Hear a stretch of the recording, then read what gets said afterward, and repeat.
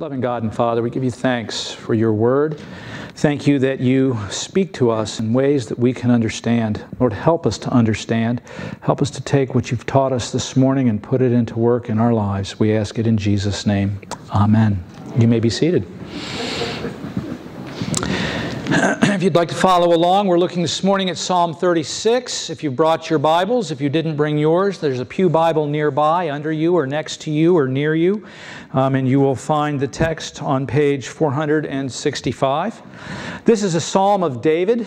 Uh, it is a psalm that uh, doesn't tell us when or where in his life circumstances that this was written, what undergirded it. But one of the questions that lies behind it is one of the perennial questions that we get asked all the time as believers. The first one is always God and suffering, but this is the second one. Why do the wicked prosper? Um, David is being harassed and he's being picked on by the wicked, and they seem to be prospering and he seems to be struggling. And so we don't know the specifics in the life of David that, that underlay this, but we do know that this is part of the question that David is answering in the psalm. It's a comparison psalm, like Psalm 1. I love Psalm 1. It is the righteous compared to the wicked, or it's Jesus and then there's the rest of us. I love Psalm 1. Psalm 2, it is the kings of the earth versus the king of the cosmos. And this one, again, is a comparison psalm. I like Graham Scroggie, the commentator, and he outlined it this way Verses 1 through 4 are the sinner. Verses 5 through 9 are the Savior, and then verses 10 through 12 is the prayer of the saint. And so we've got uh, the, the passage outlined for us, and we will now begin to unpack it a little bit. Um, I love I have come to love this psalm. It has moved up way in, in my esteem and, and, way into the top of 150 psalms. This one's near the top for me of, of the psalms. I, I love this psalm. Um, this is a true story. In 1987, I was preparing a series of talks for a Young Life weekend. And leading up to that weekend, in the newspaper that week, there was a story. And so I thought, what a great illustration. Little boy's name is Rocco Morabito. And Rocco lived in Port Chester, New York, north of New York City, a kind of a Tony suburb of New York City. Dad, it's middle of the week. Dad had gone off to work. Mom had a sick headache, and mom was sick in bed. And so Rocco and his little sister were left to fend for themselves. So they discussed what they were going to do for breakfast and decided on donuts. But there's no donuts in the house. So Rocco climbs up on the cabinets and then he reaches up on top of the refrigerator and pulls down mom's purse with her car keys and her wallet. And he takes his little sister by the hand and walks her out to the garage, straps her into her car seat because we've got to be safe. And then he opened the garage door and then he backed his mother's big station wagon, her land yacht huge station wagon. And in Port Chester, here's the house, here's their garage, here's the neighbor's house, here's their garage. So Rocco backs this land yacht between the two houses out to the street, and then he proceeds on his way to the donut shop. It's rush hour in a suburb of New York City. And he's driving down the main thoroughfare of Port Chester in New York, and he passes a state trooper. And the state trooper does a double take. I didn't see anybody driving that car. He was asked after the event, when he was interviewed by the newspaper, he said, I thought it was the invisible man driving. I didn't see anybody driving that car. So he comes out of the side street and he lights up Rocco, who puts on his blinker, and he pulls right over to the curb where he belongs. And the policeman gets out, and what are you doing? I'm getting donuts. And uh, where's your mother? She's homesick in bed. And they talk for a while, and then the policeman says, Well, you know, your mother's going to have to come and get you. And Rocco says, But I've got the only car. But that's okay. I can drive. I'll go get her. now, we've had a good laugh. We've had a giggle. It had a happy ending. Nobody got hurt.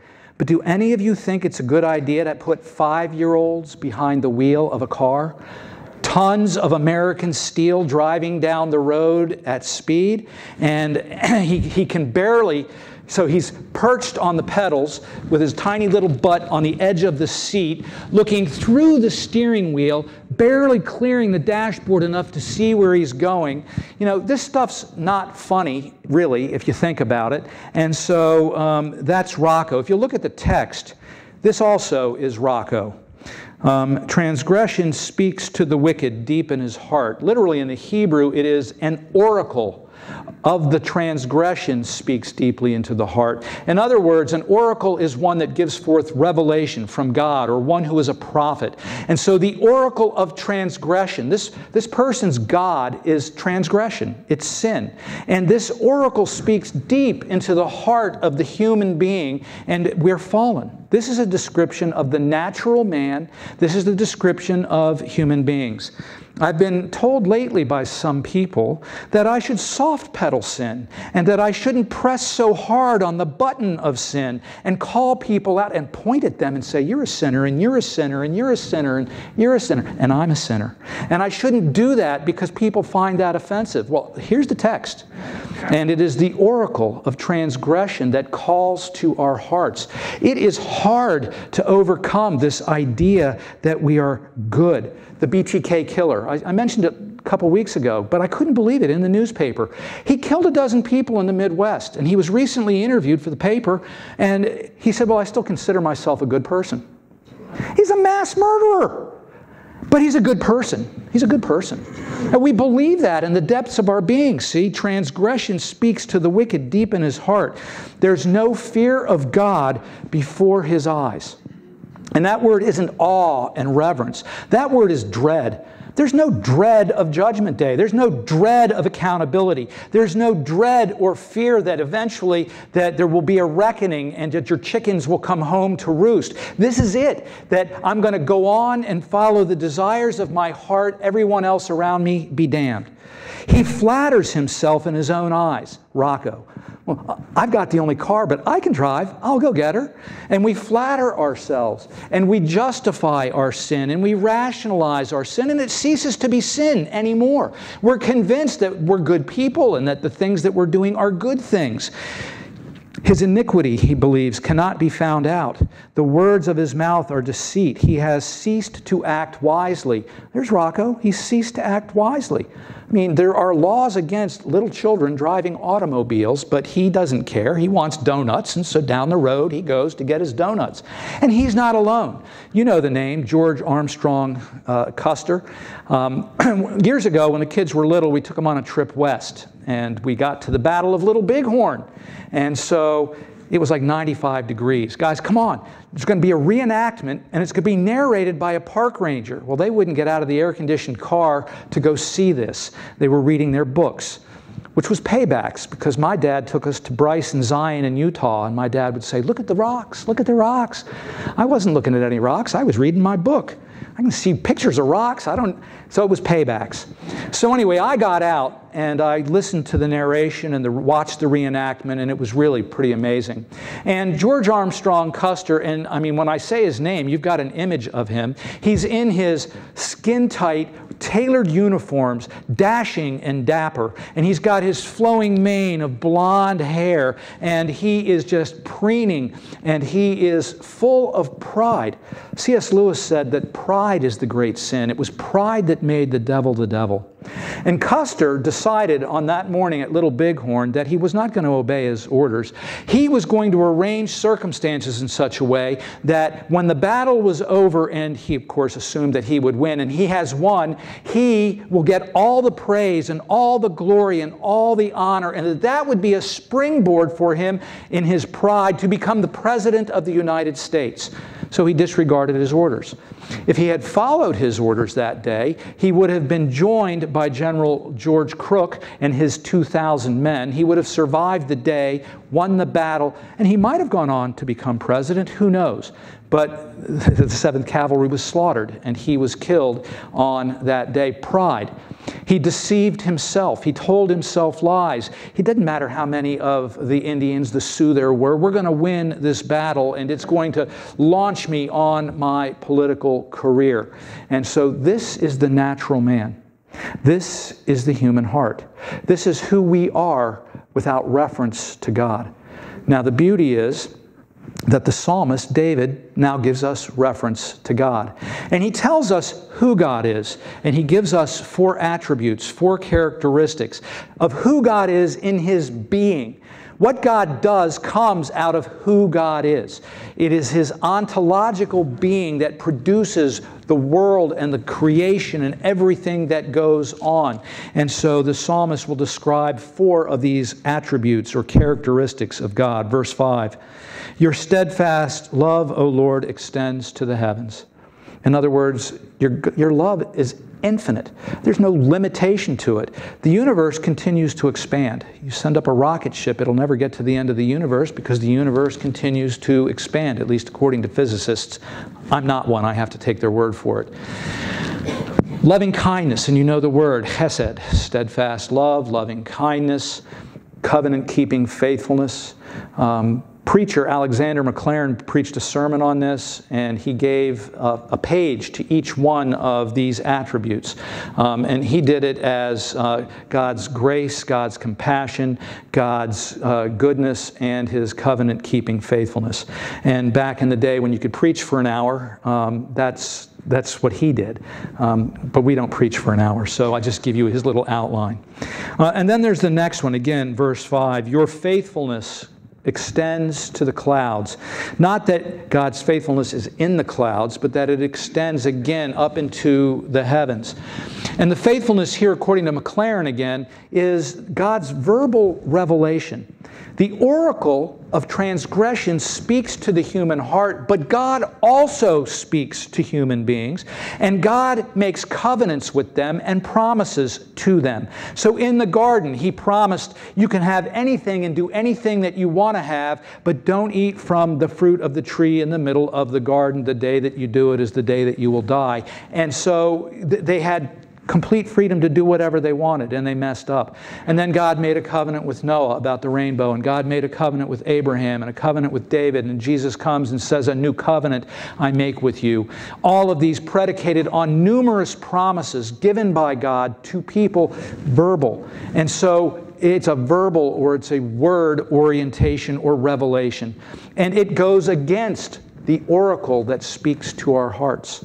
And so it's hard for us to hear because of our fallenness, our brokenness, but God speaks truth to us. And this is the good news. This is the gospel. We're sinners. How's that good news? Because if you don't understand that, then you don't understand the blessings of God and the good news when you hear it. Why Jesus? Why, why send Jesus if we're like the BTK killer and we're convinced of our utter and innate goodness? We're good people. I never killed anybody. I'm a good person. No, you aren't. Neither am I. And so this is a comparison between the natural man and God. And so we see first his loving kindness that extends to the heavens, and then his faithfulness that he makes promises. And in the scriptures, over millennia, he keeps his promises to the finest details. Jesus will be born in Bethlehem. Jesus, I mean, things that Jesus couldn't control. There are 300, just 300 messianic prophecies about Jesus by himself, in addition to all the other promises of the scriptures. And then your righteousness is like the mountains of God, and your judgments are like the great deep your righteousness. Now, we don't really understand righteousness since the Reformation. I think that uh, N.T. Wright is helping us again to understand what that word means. We hear righteousness and we think law keeping, being good. Um, and that's what it means to most people. But that's, according to N.T. Wright, that's not really what it is. It's about a relationship. It's a relationship word. It's not a forensic and legal word. It's relationship. That God, on His part, in relationship to human beings, always keeps His side of the street clean. He will always do the right thing. God can be counted on in relationship. Men are faithless. Men are unfaithful. Men turn on God and turn away from God. Again, that's the natural inclination of the human heart.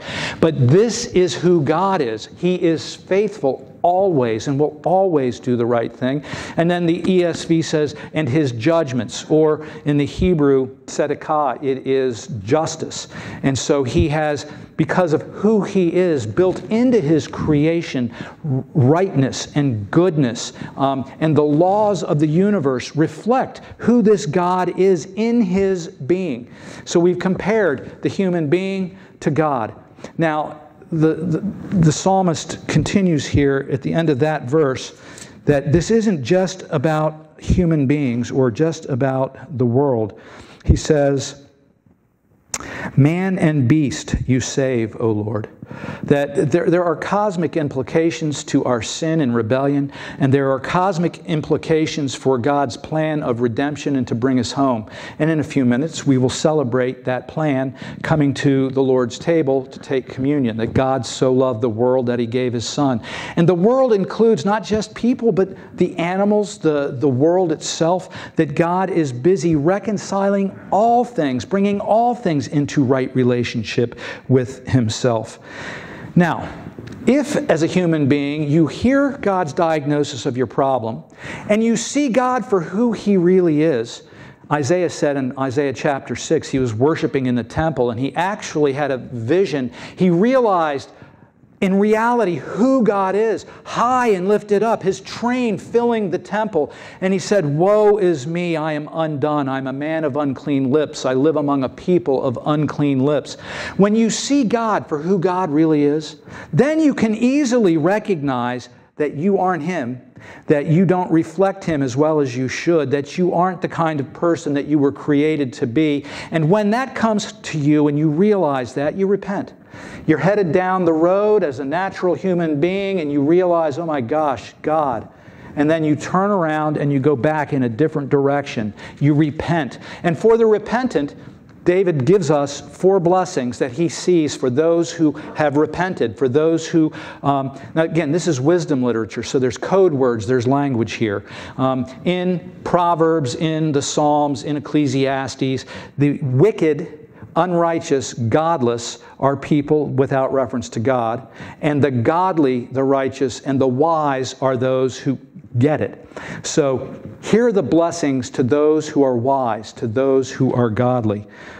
They feast on the abundance of your house. Go back up to the top of seven. How precious is your steadfast love. The children of mankind take refuge in the shadow of your wings.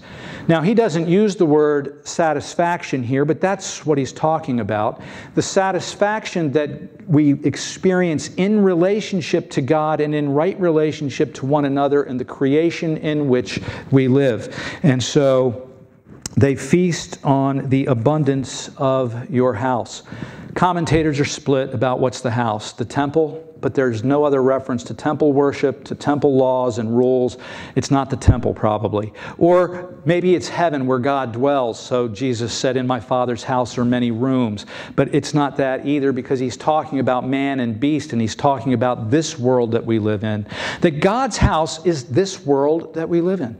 That the sun comes up and it shines on the righteous and the unrighteous. It rains on the just and the unjust. It's called common grace, and that God pours forth His blessings that we take for granted minute by minute, day by day.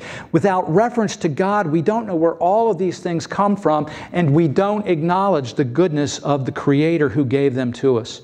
Paul writes in Romans 1 that the wrath of God has been revealed from heaven against all unrighteousness and godlessness of men, the first four verses here. They suppressed the truth and unrighteousness, for although they knew God, they did not honor him as God or give him thanks. Again, the human being who doesn't believe in a judgment day, who lives their life without reference to God. We all know people like that. They're not horrible, necessarily horrible people. They're not the BTK killer. But this is a description of the natural man in their habitat and in their life.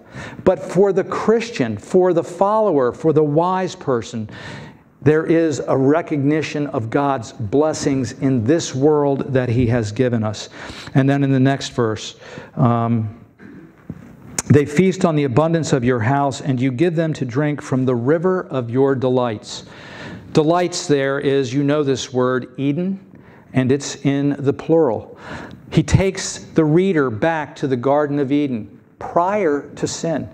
Genesis 1 and 2, where there is goodness and provision and wonder at every turn. They wake up in the morning and they try fruit from a different tree, and it's got a different taste than the one that they ate yesterday.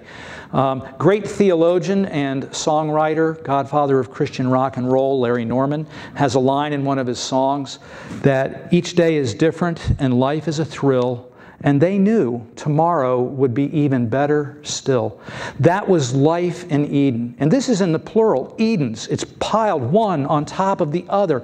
Delights and joy and provision and goodness and all kinds of experiences. And we turned it all over to Satan in chapter 3, and we became like verses 1 through 4. But when we repent and when we return to God, we recognize this is the world that He's given us. This is the home where God dwells, and that God continues to give us blessings if we'll only open our eyes and recognize them. And then two more blessings that He gives, and they're bound together. For with you is the fountain of life, and in your light do we see light. Life and light together. Back at the beginning of John's Gospel, the first 18 verses are called the prologue, and almost all the commentators say that part of the prologue came from Psalm 36, what we just read. When he says life, he's talking about physical life, that our physical life is a gift given to us by God. Verse 4 in John chapter 1. In him was life, and that life was the light of men. That our life comes to us from God. It's a gift given to us by God. And it's physical life. Verse 3 says, um, All things were made through him, and without him not anything was made.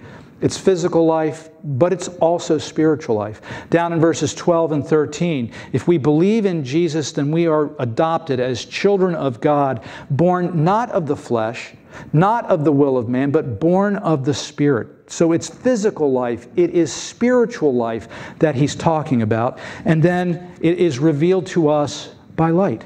Jesus is the light of the world. He said to his disciples, Go and you be the light of the world. And we shine forth these truths that we are called to live out in relationship to God. Back to Psalm 36. And so we've got the comparison. We have the natural man, we have God in His character, in His being. We have the blessings that He pours out on us if we will simply open our eyes and acknowledge who He is and what He gives us. And then He prays. Remember that this is answering the question why do the wicked uh, prosper?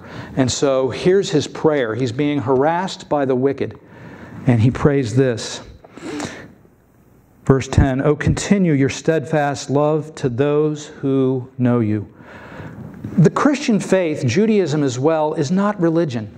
Religion is a bunch of works. Do good works, do good works. God, look at me, look at me, look at how swell I am. That's religion. No, the faith is a relationship with your Creator to those who know God, who walk in relationship with Him. It's not about good deeds and good works and the law and the keeping of all the rules. It's about being in relationship with the God who created you.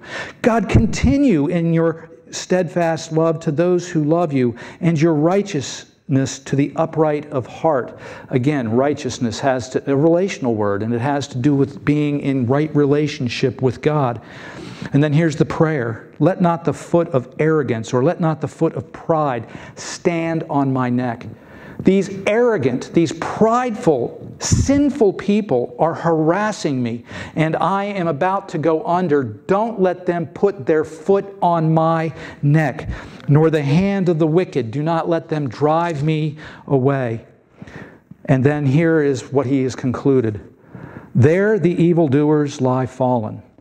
They are thrust down, they are unable to rise. Based on the character and quality of God, he knows that God will not ultimately, maybe in the short run, but God will not ultimately let the wicked prosper. And that a time is coming, though they have no fear, no dread of judgment, a time of accountability, a time of judgment is coming, and they will stand before that God and they will be laid low and that David trusts in God's ultimate righteousness and in his ultimate justice. That regardless of current circumstances, he knows who God is and he knows ultimately how things are going to end up. This is, again, it's the good news of the gospel. Jesus is in the Hebrew or Aramaic Yeshua. Literally, it is Yahweh saves. This is a poem of praise to Jesus. Jesus is the one who is righteous. Jesus is the one who is faithful. Jesus is the one who is just. It's a description of our Savior.